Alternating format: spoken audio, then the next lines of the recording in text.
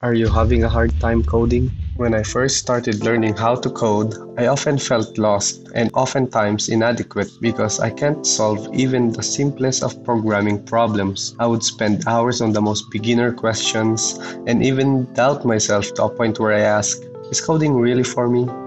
But here we are, five years of being a software engineer, I realized that it is not how much time you spend in front of the screen or the ability to push yourself to think of a solution. To get unstuck, as counterintuitive as it may sound, the answer is to just let go.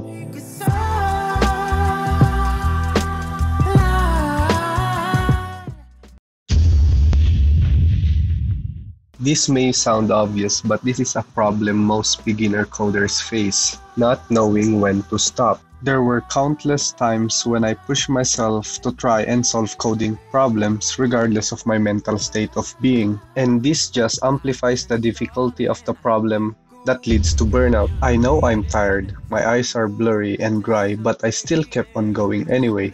But why do we still push through? And that's because of obsession. Having a bug in your code that you can't fix feels like an itch that follows you everywhere you go. But after years of training my brain to just let go and leave the computer for a while to do something else has helped me tremendously to get through the most challenging moments in my career. So I suggest just let go and do something mundane. I mentioned the mundane tasks because it is where we get our eureka moments. As for me, I'd like to go out for a while, get some fresh air, and maybe cry once or twice. Riding my motorcycle also helps, and I cook since I work from home, and this is where I found the eureka moments.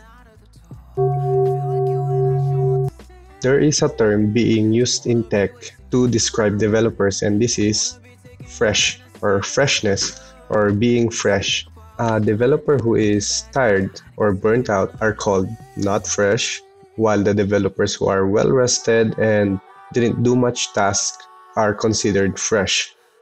In a team of software engineers, when managers notice that a developer is tired or not fresh, but still currently working on bugs and features, there's a high chance that the management will suggest letting the developer rest for a while and come back later when the dev is fresh, or let another dev who is fresher to take over. It is because fresh developers are more efficient. Even in the industry, it is being practiced to take rest. So why not you? Programming is a precise endeavor. It's all in the tiniest of details. A missing semicolon can make you frustrated for hours. So there's no question why sometimes our code may not work and we have no idea why. Have you ever experienced explaining your code to another person, then suddenly, in the middle of conversation, you figure it out? That's exactly what the rubber duck method is finding or figuring out the solution when trying to explain the problem. This is one of the best ways to debug your code, explaining it line by line. Not necessarily to a rubber duck, it could be any object or decorations on your desk, anything that you can pick up, face, and explain your code. Software development is much better when everyone is collaborating or when you have people to ask for help, whether online or in person. There's no shame in asking for help. We were all beginners once, and it's our pleasure to help you succeed. So ask others, talk to your rubber duck, and surely you'll get your own sweet eureka moment. Let's get technical for a moment. So let's say you haven't had any luck with the rubber duck nor asking other developers. You can't find any solutions in Google. Well, the last thing and the final resort would be to log or print everything. Everything from the process to what the input is, what type of data are you getting, and that's one of the best and last way I would do debugging.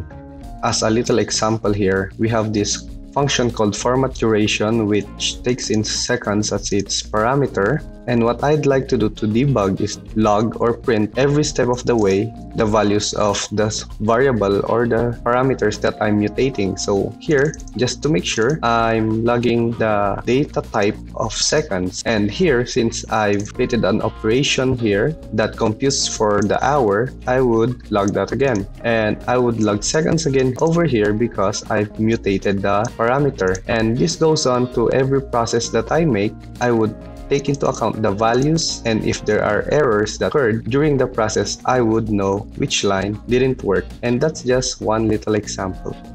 One honorable mention for getting yourself unstuck when you're coding is to read your errors. A lot of beginner engineers do not read their errors and just skip the errors, just go straight to Google and Google the problem that they had when in fact the problem or the solution is already in front of them. Maybe it's just a type error, maybe it's something or a variable that you did not define. Maybe the problem is just very simple and you did not read the error and you just skip to Google and that costs you a lot of time. So instead, it's better to read the error, understand the error, and if nothing works, then just Google the error. That way, there's a high chance that you'll get the right answer. That's it for now for this video. If you have more questions, just drop them in the comment section. Questions about coding, not on how I look, because I know how I look. Okay. All right. So that's it. I hope you learned something. And yeah, subscribe if this was helpful to you. Thanks. See ya.